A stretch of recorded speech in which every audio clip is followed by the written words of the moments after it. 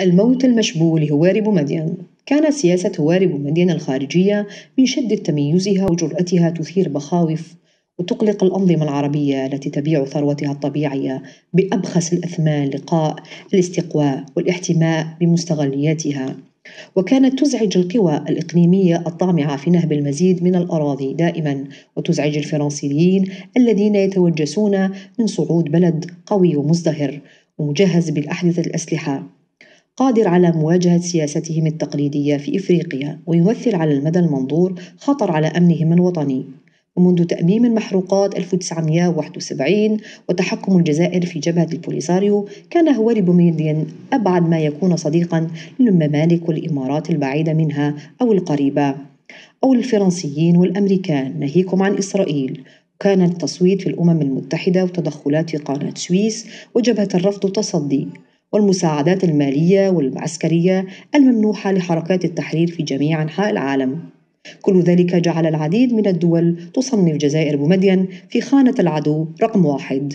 قناعتي هي قناعة العديد من الجزائريين. لا يستبعد أن يكون هواري بومدين ضحية مؤامرة دبرها أعداء أقوياء ومصممون لا يهم ما هي اليد التي وضعت السم في الجنات. يجب البحث عنهم بين من كان لديهم مصلحة في إخفاء الرجل الذي كان على وشك أن يجعل من الجزائر بروسيا شمال إفريقيا. لم يكن جهاز الحماية المقربة لهواري بومدين وعلى رأسه عبد المجيد علاهم فرحات صرهوني قادر على منافسة المحترفين الذين تكونوا وتجهزوا لمثل تلك العمليات. بعض رجال السياسة الفرنسية النافذين مثل جاك فوكار وغير محتاجين شروح مفصلة إذ كان قرار تصفية هذا الزعيم العربي أو ذاك الإفريقي قد اتخذته السلطة السياسية. هناك قائمة طويلة من الأسماء التي تملؤ سجل مديرية مكافحة التجسس دي سي أو التي كنا نعرف كثير عن دسائسها أيام حرب التحرير. الأمن العسكري. في أواخر عام 1979 كانت الناحية العسكرية الثالثة تضم أكبر وحدات الجيش وكان قطاع العمليات جنوب تندوف الذي كنت مسؤولا عليه. يضم في صفوفه معظم هذه القوى. كنا نعتقد أنا ورفاقي أن صناع القرار الذين نصبوا أنفسهم في الجزائر العاصمة وشرعوا في العمل سيوسعون المشاورات لتشمل الشخصيات الوطنية التي لعبت أدوارا رئيسية خلال الثورة والذين ظلوا على هامش النظام. وتمتد إلى المؤسسات المدنية المتبقية. وبطبيعة الحال أيضا لجميع قادات النواحي الجهوية وقادات القوات لكن التجاهل كان قد بدأ بسبب إضعاف الحلقة المفكرة نتيجة عقدين من السلطة الشخصية. صار بإمكان حفنة من رجال البوليس داخل المؤسسة العسكرية تقرير مستقبل البلاد لأن المعايير الذي اعتمد لاختيار أقدم ضباط في أعلى رتبة كان غريبا فعلا. في كتابي الجيش الجزائري في مواجهة التضليل أتحدث عن الظروف التي جرت فيها الأحداث. طلب مني سليم سعدي الذي كنت نائبه في بشار الذهاب إلى الجزائر العاصمة لمقابلة قاصد مرباح لكي أوصيه بعدم اتخاذ أي قرار متسرع قبل أن يلتقي بجميع المسؤولين العسكريين ويدرس الوضع الناتج عن حالات شغور السلطة. جاءت هذه المبادرة من سليم سعدي عقب اجتماع ضم كافة ضباط الناحية العسكرية الثالثة التي كنت بحكم حساسية حدودنا الغربية. الأقوى من حيث الإمكانيات العسكرية. كان سليم سعدي يعرف الشاذلي معرفة جيدة مثل أنا بحيث كنت نائبه أثناء حرب التحرير. كان كلانا على قناعة بأن قائد الناحية العسكرية الثانية غير مؤهل لتولي منصب القاضي الأول للبلاد وكنا وكنا متوجسين أشد التوجس من توليه مصير الجزائر. لأن الصلاحيات التي يمنحها الدستور الجزائري يمكن أن يؤدي بالبلد إلى التهلكة إذا ما تبين عجز الرجل الذي تولى هذا المنصب لسبب أو آخر. إن الشاذلي بن جديد وأنا بكل تأكيد لا أقول ذلك حبا في الإساءة إلى شخصه. لديه معرفة محدودة جدا وشخصية عاطفية وقابلة للتأثر. عندما وصلت إلى الجزائر العاصمة اتصلت بقاصد مرباح هاتفيا لأطلب مقابلته. أجابني بأنه لا يستطيع مقابلتي بحجة كثرة مشاغله. ومع ذلك أبلغته تحفظاتنا. لم يكن مدير الأمن العسكري من الناس الذين يكثرون الكلام على الهاتف. لذلك لم يكن بمقدوري أن أقول شيئا غير ذلك. أخبرني عبد الحميد لطرش الأمين العام لوزارة الدفاع الوطني في اليوم التالي أن الأمور حسمت وأن الشاذلي بن جديد تم تعيينه منسقا للجيش. وعلمنا لاحقا أن المسألة تمت تسويتها بين قاصد مرباح وعبد الله بالهوشات ومحمد عطيلية بحيث أن هذين الأخيرين هما من منح بطريقة تعسفية تزكية جميع قادات النواحي. بمقر المركزية عدد قليل فقط من الضباط كانوا يؤيدون الشادي بن جديد وكان مصطفى بالوصيف أكثرهم تحمسا للموضوع وما يبرر ذلك التحمس والانتماء الجهوي والطمع في ارتقاء المراتب تحت ظل الرئيس المقبل. بعد ذلك ضم الحزب والإطارات العليا للإدارة أصواتهم وسلموا بالأمر الواقع الذي فرضه أصحاب القرار. بمجرد تعيين الشادي بن جديد من قبل اللجنة المركزية لجبهة التحرير الوطني أمينا عاما للحزب وعند عودتي إلى الناحية استقبلوني في مطار تندوف تقريبا جميع الإطارات العسكرية قادمين من أعماق الصحراء. سألوني ماذا فعلت؟ وهم يعبرون عن خوفهم من وقوع البلد بين يد رجل لا يملك تجربة في التسيير ولا معرفة بمميزات عصره ولا إلماما بالتوازنات الكبرى للمجتمع الجزائري ولا رؤية جيوستراتيجية دقيقة لاستيعاب الملفات الدبلوماسية الكبرى أو غيرها التي تمس الجزائر ولا مشروعا سياسيا لبلاده.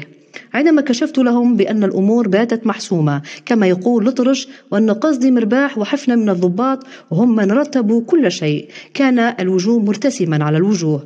جزء من الجيش يحل محل جميع المؤسسات والقوى الحية للبلد اتخاذ قرار يحدد مصير البلد. كان الصراع من أجل السلطة قصيرا جدا بين المتنافسين. المنافسان الآخران هما عبد العزيز بوتفليقة ومحمد الصالح يحياوي. لكن بن جديد ومنذ أن تولى قيادة الجيش أصبح يمسك في يده المقاليد الأساسية. أما بوتفليقة الذي كان ينظر إليه عن حق أو غير حق على أنه الوريث الشرعي لفكر هواري بومدين فكان يحظى بدعم النخبة الإدارية وكل من كانوا يؤمنون بسياسة ترقية الدولة الوطنية. والنمو الاقتصادي ومساعدة الشعوب المضطهدة التي كان ينتهجها الرئيس الراحل. لكن هذه الآراء لا وزن لها أمام تحركات قاصدي مرباح ومن معه غير مكترثين برأي الكثير من إطارات البلد لإيصال بن جديد إلى سادة الحكم. الصراع بين قاصدي مرباح وعبد العزيز بوتفليقة قديم ومعقد فالأول قوي بقوة الأوامر ومنطق النظام الذي يخدمه. أنشأ شبكة متينة اخترقت المجتمع والإدارة لرصد كل شيء والتحكم في كل شاردة وواردة. فيما كان الآخر يرى في تجاور الهياكل المأمورة مقصودة تحد من حريته في الحركة. صرح بأنه ليس حليفا ظريفا أو مجرد موظف أو متعاون تقني يمكنه أن ينتج معارضة في يوم ما وإنما هو في حد ذاته النظام بعينه شرعيته لا تسمح بوجود للمخابرات في وزارته. لقد كان رفض عبد العزيز بوتفليقة السماح لقصد مرباح بفرض عناصر من الأمن العسكري في مختلف السفارات وفي وزارة الخارجية موضوع خلاف بين الرجلين لفترة طويلة. رفع بوتفليقة القضية إلى رئيس مجلس الثورة وكسبها. بعدما صاح يجب أن نثق ببعضنا البعض. أما قصد مرباح فقد أثبت بعد وفاة بومدين أنه هو جهازه لم يعلن ولاءهما إلا لشخص واحد فقط وليس لأي جماعة. ما هي المعايير التي اعتمد اعتمدها قاصدي مرباح لفرض بن جديد؟ الماضي التاريخي الشجاعة البدنية الكفاءة سهولة التلاعب في المستقبل برئيس مسير. الكل غارق في تخميناته. أما قاصدي مرباح فمن المؤكد أنه كان يعرف من الذي اختاره وأهم من ذلك يعرف من الذي لا يريده. وكان محمد الصالح يحياوي غير مرحب به أيضا من قبل صناع القرار العسكري المغامرين. مسيرته العسكرية تختلف اختلافا جوهريا عن مسيرة غيره من الوجوه البارزة في الجيش الوطني الشعبي فهو من مجاهدي الداخل ومن كبار جرحى الحرب. وليست لديه أي علاقة بمعظم كبار الضباط وقدماء ما يعرف بجيش الحدود وبالتالي فإن السماح له بالوصول إلى سادة الحكم من شأنه أن يحدث في نظرية معارضيه تغيرات غير محبذة داخل المؤسسة. إن علاقته القديمة مع الطاهر الزبيري قد تفتح مجال لتصفية الحسابات التي سيدفع ثمنها كل الذين شاركوا في هزيمة قائد هيئة الأركان السابق. في حالة ما إذا عاد هذا الأخير بقوة بالإضافة إلى ذلك كان من المعربين المغاليين ومرجعته الثقافية وصداقاته الخاصة تجلبه أحيانا انتقادات حادة من قبل فريق المسؤولين الذين فرضهم الرئيس الراحل. كان ذلك عاملا آخر للذين اختاروا الشاذلي لتبرير عدم مطابقة الشخصية. كان الشغل الشاغل لقاسدي مرباح كما أوضح ذلك هو بنفسه لاحقا هو تمكين ضابط قادر على الحفاظ على وحدة وتماسك المؤسسة العسكرية ضمنت استقرار البلاد. من اعتلاء السلطة تجنبها الوقوع بين يدي رجل لن يتناوى في جزرها وتفتيتها. المهمة الأولى للشاذلي بن جديد ولقد نجح فيها هو منع الصدمات والتصدعات التي كانت تهدد الجيش الشعبي الوطني في أعقاب الرحيل المفاجئة للرجل الذي شيد هذا الجيش على قاعدة متينة. وعلى نطاق أوسع كان لقصد مرباح تحليل قياسي مبني على أحكام ذاتية وقيامية أن الشاذ لرجل الشرق يتبناه رجال الغرب وإن مثل هذا الصورة من هذه الناحية تنطبق على صورة هواري بومدين عندما اكتشف قاصد مرباح لاحقا أن الظلال المرتسمة في الظلام لا تسمح برؤية قساوة النظرات ولا علو الجبهة كان قد فات الأوان. قبل بضع سنوات مضت. جلست صدفة إلى جوار السيدة مرباح. بينما كنت في رحلة على الطائرة. قالت لي هذه المرأة التي حلت عليها مصائب كبيرة وتحملت مأساتها بشجاعة نادرة. كان زوجي يردد دوما بتنهد ويقول كان علي أن أستمع إلى خالد نزار. قاعد الجوق من بين الذكريات التي رسخت في ذهني عن اجتماع اللجنة المركزية الذي زكى هذا الاختيار. ما زلت أتذكر صورة الرائد معاوية. أحد مساعدي مرباح وهو واقف يمد ذراعيه ويضبط مثل قائد الجوق حركات المربع الذي كان يحتله ممثلي الجيش. الجميع يقوم بإشارة منه. لحظة دخول الشاذلي بن جديد والجميع يجلس دائما بإشارة منه عندما يدخل محمد الصالح يحياوي وبوتفليقة بفضل هذا الدعم القوي أصبح الشاذلي بن جديد رئيسا للجمهورية من غير أدنى مقاومة. إن القوة الهائلة التي كان يتمتع بها الأمن العسكري هي ناتج الخيار الذي تبناه وارب مدين فلم يكن يستطيع أن يظل صانع القرار المطلق إلا إذا كانت لديه آداة للسلطة المطلقة. ولقد أصبح الأمن العسكري على مر السنين هذه الآدات لم يكن بمدين يسعى لكسب انخراط الشعب إراديا بل كان يريد خضوع من أجل مصالحه العليا. وكان الأمن العسكري ينسق وينظم الجهاز البوليسي الواسع الذي ترتكز عليه أركان النظام. كان هذا الدور السيادي للبوليس السياسي هو الذي وضعته مرارا نصب عيني ونددت به علنا على التلفزيون وفعلت كل ما أستطيع لإعادة الأمن العسكري بأي مسمى كان إلى مهامه الأصلية ألا وهي حمايه البلاد والجيش وليس فرض الوصية على الجيش واداره شؤون البلاد وراء الستار. كان هدفي من الحد من تركز الوسائل في الجهاز واحد وقائده وفرض المعايير المعمول بها في البلدان التي لا تعلو فيها الشرطة على بقية المؤسسات.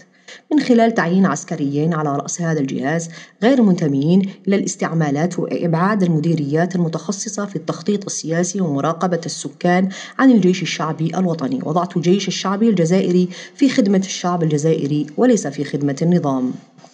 أردت أن يتوقف الخلط بين الجيش الوطني الشعبي والبوليس السياسي ويشهد على ذلك تعيين الجنرال كمال عبد الرحمن ثم الجنرال فوضيل سعيدي وهما من الموشات على رأس المخابرات وإعادة هيكلة هذه الأجهزة نفسها التي شرعت فيها عام 1989 والتي عارضها بعض المسؤولين بشدة.